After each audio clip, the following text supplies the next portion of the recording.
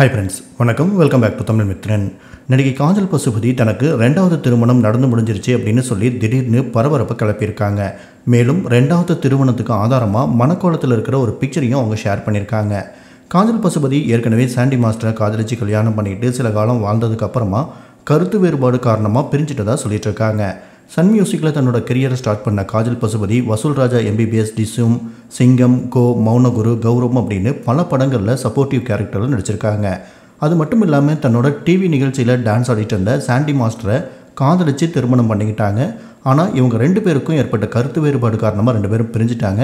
சாண்டி மாஸ்டரும் ரெண்டாவது திருமணம் பண்ணிக்கிட்டாரு. அது மட்டும் இல்லாமல் திருமணத்துக்கு அப்புறமா கூட சாண்டி மாஸ்டர் காஜல் கூட நல்ல ஃப்ரெண்டாக பழகிட்டு வரதா அவங்களே சொல்லிட்டு இருக்காங்க இந்த நிலையில் காஜல் பசுபதி தன்னோட இன்ஸ்டாகிராம் பேஜில் ஒரு போஸ்ட் போட்டிருக்காங்க. அதில் என்ன சொல்லியிருக்காங்கன்னா ஒரு வழியாக எனக்கு ரெண்டாவது திருமணம் நடந்து முடிஞ்சிருச்சு. இதனால் நீங்கள் எல்லாரும் ரொம்ப சந்தோஷப்படுவீங்கன்னு நம்புகிறேன் திடீர்னு முடிவு பண்ணதால் யாருக்கும் சொல்ல முடியல. மன்னிச்சிருங்க அப்படின்னு சொல்லியிருக்காங்க. மேலும் திருமண கோலத்தில் கழுத்தில் தாலியோடு இருக்கிற மாதிரி ஒரு பிக்சரையும் அவங்க ஷேர் பண்ணியிருக்காங்க. ஆனால் இதை பார்த்து யாருமே நம்ப மறுத்துட்டாங்க. உனக்கு இதே வேலையாக போச்சு வேறு வேலை வெட்டியே இல்லையா அப்படிங்கிற மாதிரி வருத்தெடுத்துட்டு இருக்காங்க. என்ன காரணம் அப்படின்னா காஞ்சல் பசுபதி இந்த மாதிரி பண்ணுறது இது ஒன்றும் புதுசு கிடையாது. ஏற்கனவே சில தடவை இதே மாதிரி ரெண்டாவது கல்யாணம் அப்படின்னு சொல்லி பப்ளிசிட்டிக்காக பண்ணியிருக்காங்க.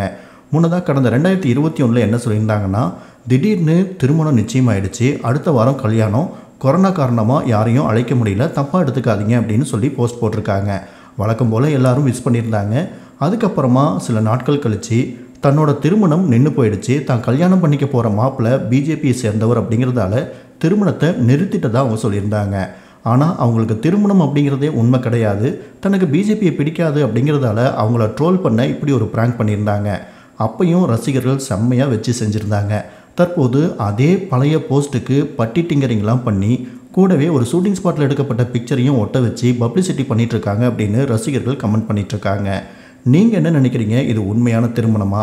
இல்லை வழக்கம் போல் டம்மி திருமணமா? உங்களோட ஒப்பீனியனை ஷேர் பண்ணுங்கள்